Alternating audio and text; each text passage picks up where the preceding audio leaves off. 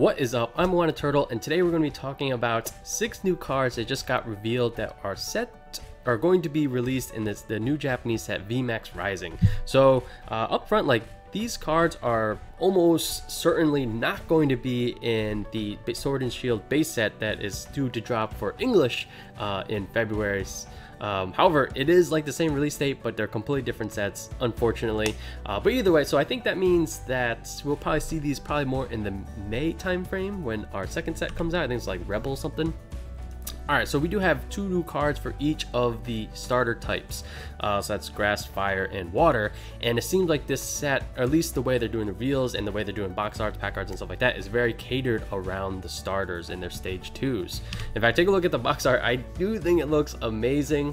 Uh, they kind of have just the stage twos there. So obviously it's catered around it. And I kind of like how they did this where the first, the base set, when they actually released as two different sets, sword and shield, was obviously revolves around Zamazenta and Zacian where now they're going kind of catering towards the starter types. All right, but uh, so we do have two cards from each type, so that's pretty cool. And let's get into the first. Uh, or actually, no, I just wanted to say that we got all this information from PokeBeach.com from Post by Water Pokemon Master, just a site we check out every day. I recommend you do the same. Uh, however, if you don't, you can always check in here for the latest news.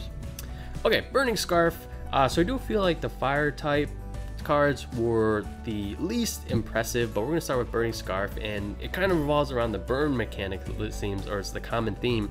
Uh, so this, you attach it to a fire type, and if it gets attacked, uh, your opponent's attacking Pokemon is now burned. Burned just a reminder is 20 damage every turn but they can flip a coin to get rid of that in between turns as well um this thing doesn't sound that impressive it's you know it's like um, you know, 20 damage for sure. Maybe get 40, so it could stack up, but they could just switch. You know, I felt like things like Spell Tag were kind of nice because you can throw that damage, even though it's only 40, to whatever Pokemon you want, but this is less uh, flexible in that regard. Alright, let's go to Cinderace VMAX.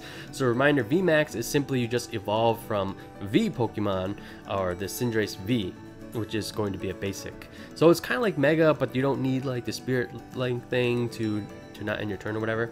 But we do have Cinderace coming in at 320 HP. That's a kind of a number that we're going to tuck away because that will come up later. And its first attack is counter for a red and a colorless 30 damage plus the amount of damage. If you're attacked last turn, you add that much damage to your attack. So to me, this sounds like a very weakened version of Outrage where the it's not how much damage you already have, it's just how much damage you took last turn. Uh, but ultimately, still coming at 320 HP, this thing can definitely pack a punch. Uh, it's kind of a situation where if you get Cinderace VMAX out, you know, at full health, your opponent is basically in a situation where if you attack it and you don't knock it out, the crackback is probably going to be huge, or you have to uh, one-shot it or just deal a little bit of damage over time. And then the second attack is Grand Fireball, 170. Your opponent's active Pokemon is now burned. Uh, 170 sounds pretty good for most two shiny things plus the burn mechanic, but uh, and it is three energy, two fire, one colorless. Um, doesn't sound bad, but doesn't sound that super strong.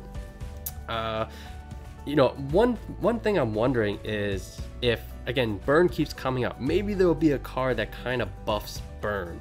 Uh, I think there's there are a few cards that kind of like buff. Uh, I think like Viper, like if your active opponent's active Pokemon is poison, add 10 damage to that poison. Um, and maybe there will be something like that to kind of enhance these burn mechanics because it seem to keep coming up, but at face value doesn't seem that strong to me. Alright, now we're going to move to the water type cards. The first one is called Full Bucket. Sometimes, guys, very simple is good enough. And this card is maybe one of those good examples. It's just search your deck for two water energy, reveal them, put them in your hand, shuffle your deck. Very simple.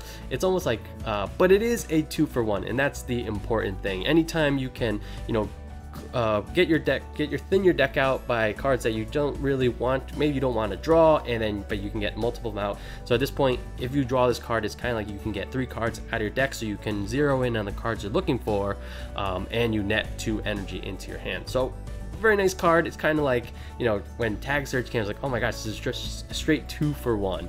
And in a way, a three for one out of your deck. So, a pretty cool card. And at this point, to be honest, I'm looking for synergies, and this thing, when it comes to the going to be the one of the stronger ramp up cards with Froth Frosmoth, uh, where you can accelerate as many water energies as you want to your water bench water Pokemon but uh, it has to be from your hand and this could be a good way to kind of get you know all right well how am i gonna get the water gene out of my hand or into my hand? This is a simple two for one way to do so. So full bucket is pretty cool with frosmoth and you know starting to see some of these synergies that so far i don't really see for the fire type.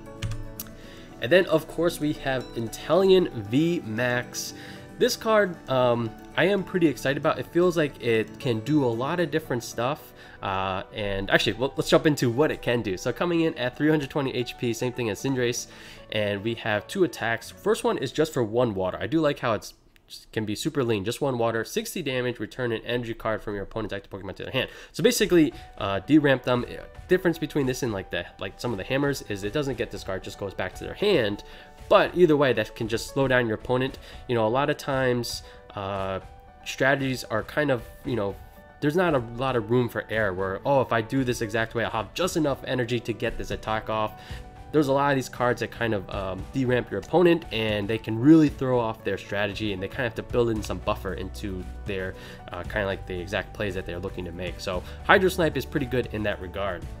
Then we have Granbullet coming in for 2 water or colorless, 160 damage, and you can do 60 damage to one of your opponent's bench Pokemon. 60 is quite high for kind of like, I don't know what to call it, but bench damage uh, while dealing damage to their active. And not only is it 60 high, but so it's seeming like the Granbullet 160 damage is good enough for a two-shot against most Pokemon. Uh, so that's going probably my main concern with this card is while it has can do a lot of different things, um, I'm hope I'm wondering if it'll just come up just short in a couple regards, especially around Granbullet. Uh, so actually, one thing we'll we mentioned 320 for Cinderace, so this is a one-shot and probably will be a one-shot for most fire types. Um, I'm not sure if I've seen a fire type that has 330 or something that's weak to water that has more than 320 HP. But there are a handful, that we're going to hit a card that has 330 HP, and I think like Snorlax VMAX has 340. So there will be certain times when this does not hit that um, that two shot threshold, which I do think could be a weakness in, in for this card. And um, Maybe there will be some simple ways to buff it, uh, but you know, there's probably just as likely to for the opponent's side as well. So on the water side, I think I'm more optimistic for, but I'm wondering, uh, my uh, worry is that this card will just come just short for a couple uh, knockouts. All right, moving to grass. I am so excited for grass. You know, as far as like the pre-release, again, I highly encourage everyone go to pre-release next weekend. Um, the Rillaboom that has that crazy ramp up I'm so excited for and I feel like these new cards these two cards are just like asking for it to be played.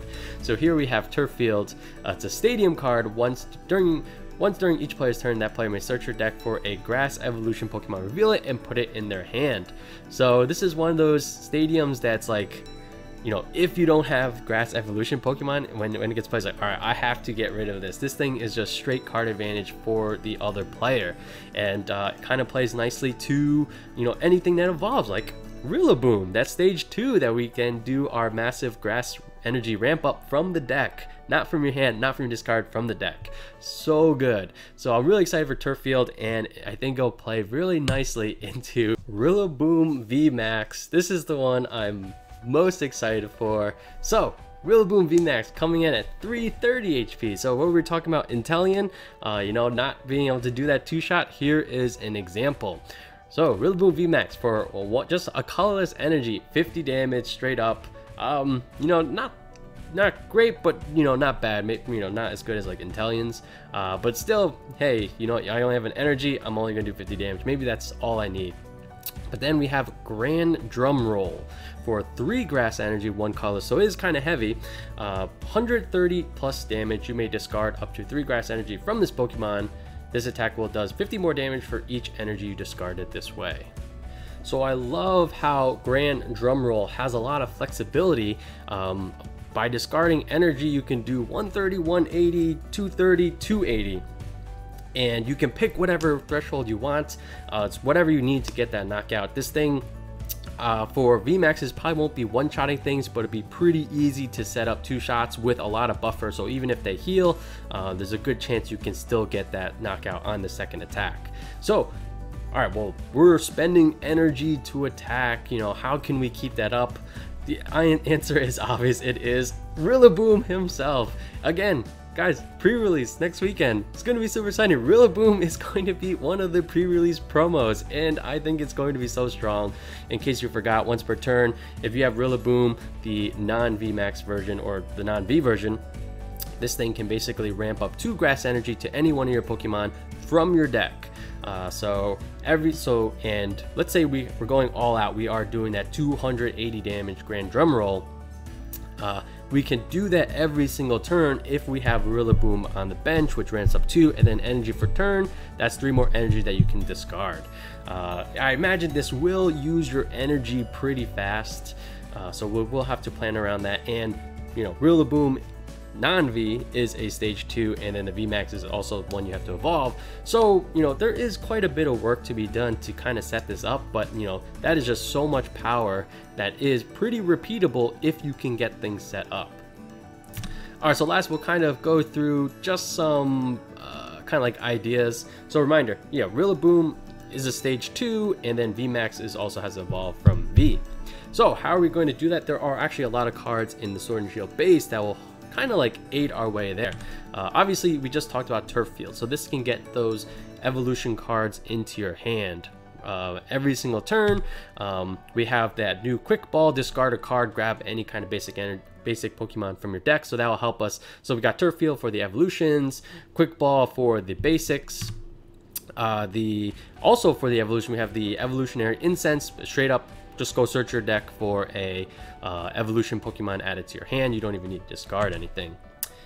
Potentially, we could go a different route. So the uh, shoutouts to Get Rex who kind of bubble this up to me is like, hey, you know what? Don't forget about the Rowlet Alolan Exeggutor tag team. This thing has super growth. It basically says evolve one of your Pokemon from your library or from your deck and evolve it, uh, which is pretty pretty nice. Um, and you know, if you let's say you just happen to run two of those and maybe you run some tag team supporters, you can include tag call, which is again straight up two for one, which is perfect. Uh, the only thing about this, this kind of does the evolution for you. So, you know, it kind of goes against turf field evolution incense. This thing specifically says you have to search your deck. I don't think you can do it if it's already in your hand. And however, um, and that's also kind of contradictory to like the rare candy strategy where if you use turf field or evolution incense you can go straight from uh, basic when the quick ball into the stage two for the Rillaboom. Obviously, it doesn't really apply for the VMAX. So my point here is that while there is a good amount of setup, we have a good number, we have different options in how we're going to get there, whether it's evolve from the deck or evolve from the hand, and we have plenty of cards to tutor up everything we need to get this set up. And reminder, like, let's say, I don't know, you have a great hand and you start off with uh, V, you start off with the two basics on turn one. You know, turn two, uh, you know, if you have everything set up, all you need a rare candy and you know the uh, maybe the turf field and maybe the evolutionary incense. Uh, you can get straight to the both Rillabooms and use that 280 attack turn two. Yes, that's like basically a perfect perfect hand. Uh, but you set up an engine where you're doing mass max damage on your first attacking turn and setting up for, you know, to repeat that every single time. So I feel like this is, you know, the deck that I'm most excited to try uh, once all these cards come available. Um, and again, the way that they're kind of like releasing these cards, like, oh my gosh, they, they want us to do this. they're they're uh, they're baiting us. So all right, that's going to be it for me today. Um, if you see any other kind of like synergies that uh, that haven't been mentioned, definitely let me know in the comment down below. I, I love this kind of stuff, just like uh, theory crafting, and you know, it's great to have these kind of conversations with you guys. So definitely let me know. And if you did enjoy the content, as always, guys, like, comment, and subscribe all down below. I'm iWAHnnaTurtle. and I'll catch you guys next time.